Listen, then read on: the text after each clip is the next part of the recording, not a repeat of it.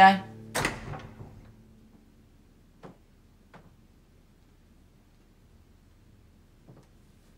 Safiye Sultan'ı bu kadar sevdiğini bilmezdim. Yaz tutmam bittiyse bundan sonra ne yapacağımızı konuşalım. En büyük düşmanımdı. Babamı, kardeşimi, oğlumu onun yüzünden kaybettim. Osman'ı da o düşman etti bana. Her şeye rağmen ona saygı duyuyordun. Zira o seni getirdi. O yetiştirdi. Belki bir vakitler hayrandım ona.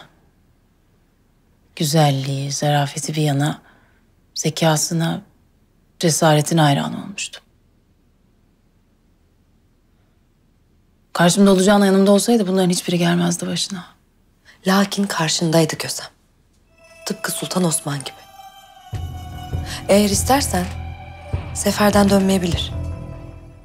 Adamlarına haber uçurman kafi. Payitahta cenazesi gelir. Evladına kıydı Kösem. Ölsün istemiyor musun? Biraz olsun yüreğin soğusun istemiyor musun? Bunun bedelini tahtıyla ödeyecek. Canıyla değil Halime. Sakın kendi başına bir şey yapmaya kalkışma. Sultan Osman'ın canına kasteden benim canıma kastetmiş demektir.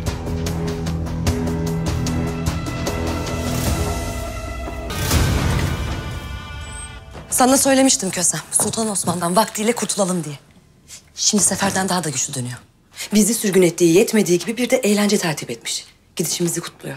Ben kararımı söyledim Halime. Zinhar kan dökülmeyecek. Yarın bostancılar bizi Gemlik Sarayı'na götürmeye geldiğinde ne yapacaksın? Daha yoldayken bizi boğazlayıp denize atacaklar. Seni bilmem lakin ben hiçbir yere gitmiyorum Halime. Sultan Osman elbet yaptığı bu hatadan dönecek. Demek kendini kurtarıp bizi ateş atacaksın öyle mi? Bu o kadar kolay değil Kösem. Ben yanarsam herkes yanar.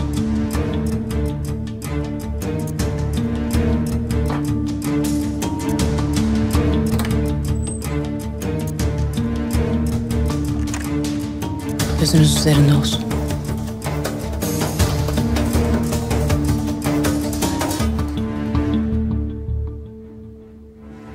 Safiye Sultan yok artık. Bundan sonra seni kim koruyacak çok merak ediyorum.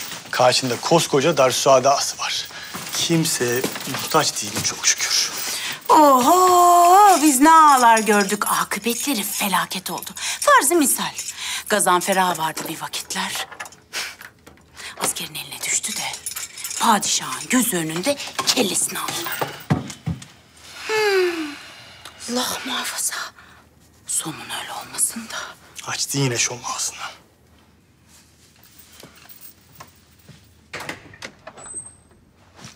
Şehzadelerim, Allah'ım esirgesin sizi. Getirin ağlar. Nedir o cennet kafa? Kösem Sultanımız hepinize hediyeler gönderdi.